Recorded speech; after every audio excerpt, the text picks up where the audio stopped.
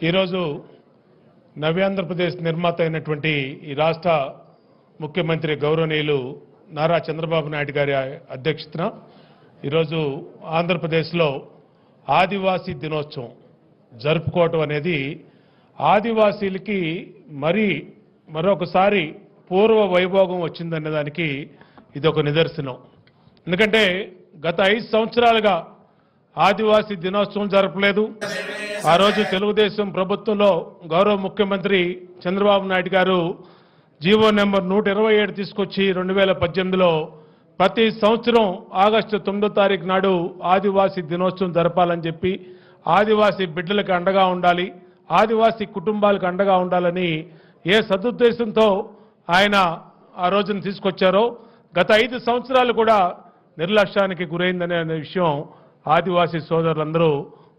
వారందరూ కూడా బాధపడిన విషయం మనందరికీ తెలుసు. గతంలో తెలుగుదేశం ప్రభుత్వ హయాంలో రెండు వేల పద్నాలుగు రెండు వేల పంతొమ్మిది హయాంలో ఆదివాసులకి మరి దినదిన వైభోగం ఆ రోజున ఉండేది. ప్రతిరోజు ఒక స్వర్ణయుగం లాంటి చంద్రబాబు గారి పరిపాలనలో ఏ కష్టం ఏ ఇబ్బందులు లేకుండా జరిగినటువంటి పరిస్థితి. ఎందుకంటే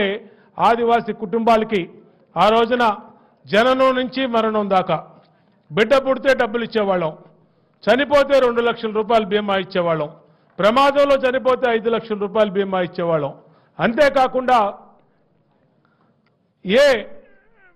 గూడెంలోంచి కొండల మించి గూడెల్లోంచి కోయగూడెల్లోంచి ఉన్నటువంటి వాళ్ళకి కనీస సదుపాయాలు పెట్టాలని ఆ రోజున మరి బైక్ అంబులెన్స్ని సర్వీస్ని ప్రారంభించి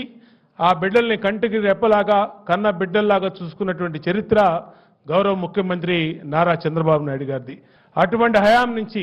నరక కోపంలాగా రెండు వేల పంతొమ్మిది నుంచి రెండు వేల ఇరవై నాలుగు వరకు ఆదివాసీలు మరి పట్టించుకోని పరిస్థితిలో అన్ని రంగాలలో వెనకబడిన స్థితిలో ఈరోజు మళ్ళా వాళ్ళకి పూర్వ వైభోగం వచ్చింది. ఏదైతే ప్రపంచం మొత్తం ఆదివాసులకు అండగా ఉండే విధంగా ఐక్యరాజ్య సమితి డిసైడ్ చేసిందో ఆగస్టు తొమ్మిది ప్రతి సంవత్సరం కూడా ఆదివాసీ దినోత్సవం జరపాలని ఈ సంవత్సరం తొలిసారి గవర్నమెంట్ వచ్చినటువంటి తొలి సంవత్సరం తొలి ఆగస్టు తొమ్మిదో తారీఖు నాడు విజయవాడ సెంట్రల్ నియోజకవర్గంలో ఈ కార్యక్రమాన్ని జరుపుకోవడం సంతోషం అని తెలియజేసుకుంటూ గతంలో ఆదివాసీలకి ఆర్ఓఎఫ్ఆర్ పట్టాలు ఇచ్చి డెబ్బై ఏడు వేల నాలుగు వందల తొంభై ఒక్క మందికి పట్టాలు ఇచ్చింది కానీ అలాగే వాళ్ళకి గిరిగోరు ముద్దు కానీ గిరిపృతికి కానీ పెళ్ళికి లక్ష రూపాయలు ఇవ్వటం కానీ ఇలాంటి ఎన్నో పథకాలు రెండు వందల యూనిట్లు కరెంటు ఉచితంగా ఇవ్వటం కానీ అన్ని రకాలుగా వాళ్ళని ఆర్థికంగా విద్యాపరంగా సామాజిక పరంగా రాజకీయ పరంగా ఆ ఆదివాసీ కుటుంబాలకి అన్ని రకాలుగా ముందు తీసుకెళ్ళడానికి చిత్తశుద్ధితో కృషి చేసినటువంటి ఆనాటి ముఖ్యమంత్రి చంద్రబాబు నాయుడు గారు మళ్ళా నేడు ఈ రాష్ట్రానికి సారథ్యం వహిస్తున్నటువంటి సందర్భంలో ఆదివాసీ సోదరులందరికీ కూడా శుభ శుభ రోజులు వచ్చినాయని మంచి పరిణామం మంచి రోజులు వచ్చినాయని తెలియజేసుకుంటూ మరొకసారి ఇక్కడికి ఇచ్చేసినటువంటి ఆదివాసీ సోదరులందరికీ ఈ నియోజకవర్గ శాసనసభ్యుడిగా ఆదివాసీ దినోత్సవ శుభాకాంక్షలు తెలియజేస్తూ